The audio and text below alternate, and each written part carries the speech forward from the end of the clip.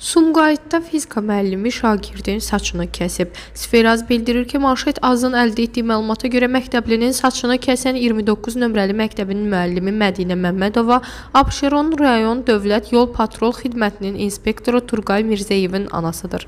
Qeyd edək ki, şagird dərsə səliqəsiz saçla gəldiyinə görə fizika müəlliminin onu vurduğu və saçını qırxdığı bildirilib.